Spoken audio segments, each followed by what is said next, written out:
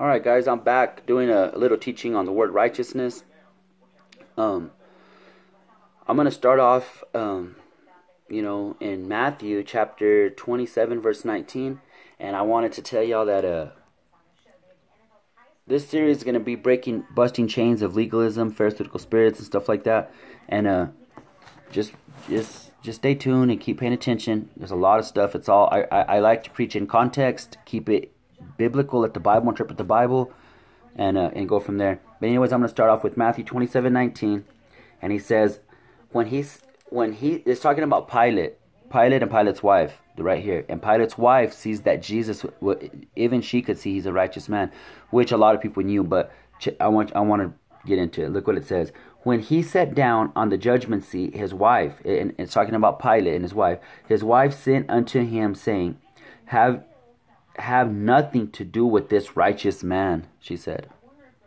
For I have suffered many things this day in a in a dream because of him. She had a vision of him. She she had she had a dream of him. And uh, I, what I'm focusing on here is the word righteous. It says that she she told her husband, "Don't have nothing to do with this righteous man." And the reason I'm sharing this with you is because I want y'all to get to understand that your righteousness is not of your good works, your good deeds, um, the things you don't do, the things that you do. It's you, you're righteous because Jesus was righteous. Okay, we all know Jesus had no sin. We all know that, right? But the Bible says that Jesus became sin. How did he do that? Because there was a transfer. He took all of our sins and we take his righteousness.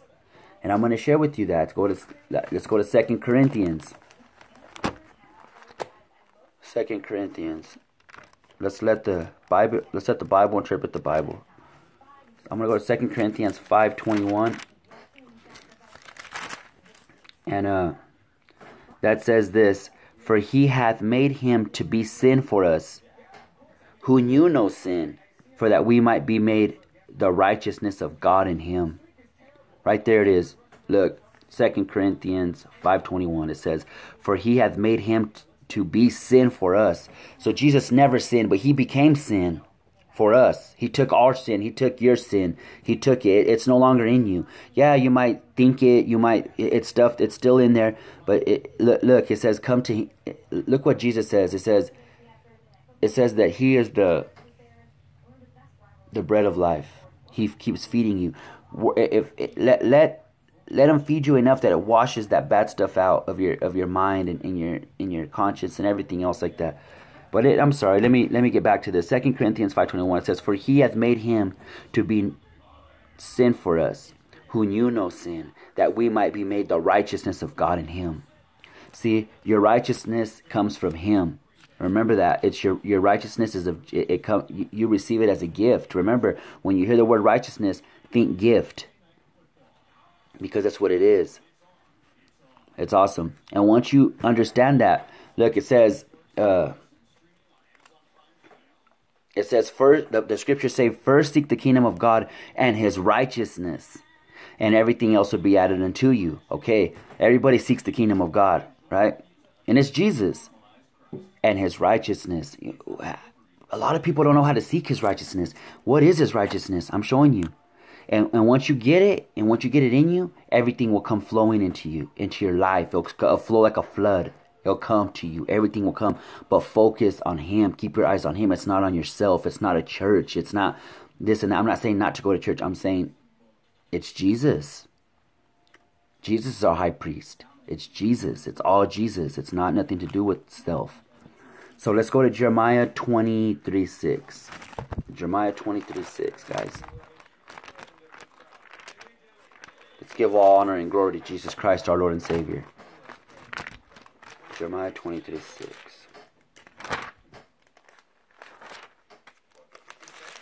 Okay, I'm almost there, guys.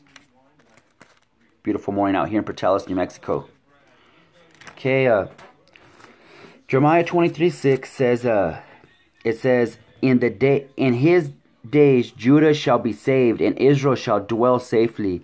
And in this is and this is his name whereby we will be where where he shall be called the righteous the Lord our righteousness. Let me read that again. I'm sorry, I have a bunch of notes and a bunch of writing here, so I'm having to. Okay, it says, In his days Judah shall be saved, and Israel shall dwell safely. And this is his name where he shall be called. And look what it says the Lord our righteousness. Right there. The Lord our righteousness. He is our righteousness. He is our righteousness. It's his obedience. It's his. It's everything he did. It's it's how perfect Jesus as Jesus is, so are you in this world. The scripture says. It says as we as he is, so are we in this world. It says here on earth, on this world. Jesus ain't sick. Jesus ain't in poverty. I mean, come on. Come on. Somebody's getting this here. Somebody's understanding this here.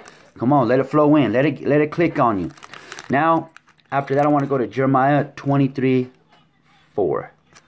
And it says, look, you're going to hear, and I'm going to eh, show you why I'm saying this.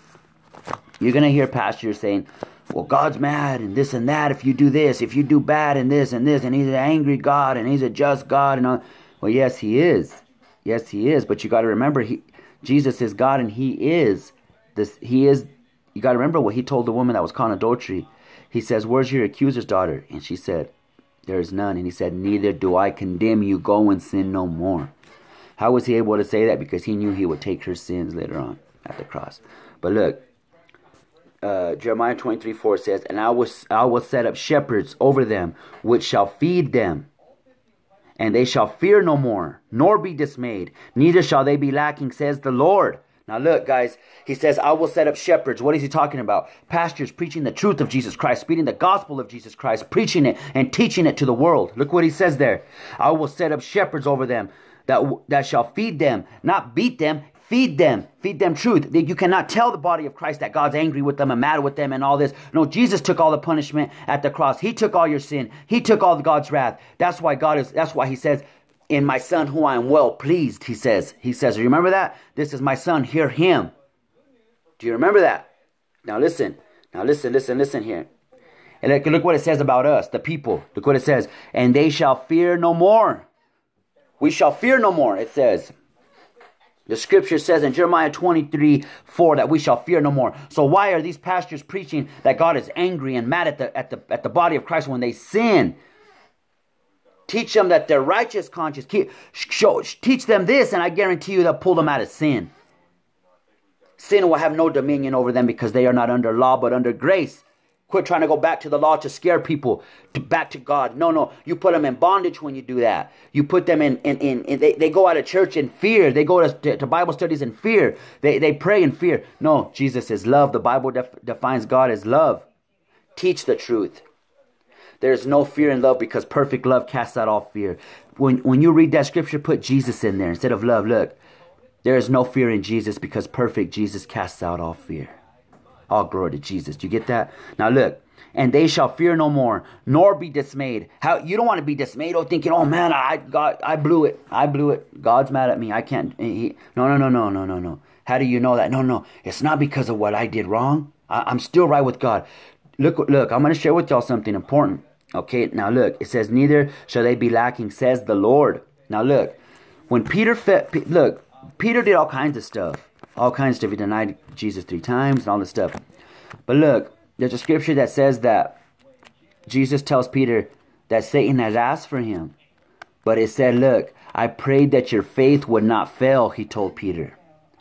He didn't say, I prayed that you wouldn't fail, Peter, because Peter will fall. We're human, we fall, we're man. He said, I pray that your faith would not, would not fail. Now look, that's why it's it's our faith. Look, we put our faith that we are the righteousness of God in Jesus Christ. That is doing that. That's giving Jesus all the glory. You're not trying to sell. You're not trying to take glory for self. You're not trying to. You, you can't be self righteous. That oh, I fasted 20 days. I'm holy. No, no, no. And, and if you think that fasting is for for for God, it's that's not true. Fasting is for you. Fasting is for you. Study the scriptures on that. Um, okay, but before I get off track on something else, I, I want to keep this going. Peter, Jesus told Peter, I prayed that your faith would not fail. Now look, that's that's that's important because look, it says that what's the only thing that pleases God? Is faith. His faith, right? Now look, I'm gonna uh, share with you the scripture in John, First John five four. Let me get it real quick. First John five four. I love speaking about the Lord. He has showed me all this stuff a while back, and it's just awesome. And uh, I'm I'm happy I get to share it, share the word. I, I'm just so full of it, um, of of the goodness of the Lord, of His mercies. And, and you know what? I want to thank you, Lord, for your mercy, for your flood of mercy that you just bestow on us. It's amazing. It's amazing. I'm going to First John 5 4. And it says, For who for whoever is born of God overcomes the world, and this victory, and this is the victory that overcomes the world. That says even our faith. So look, it's your faith, guys.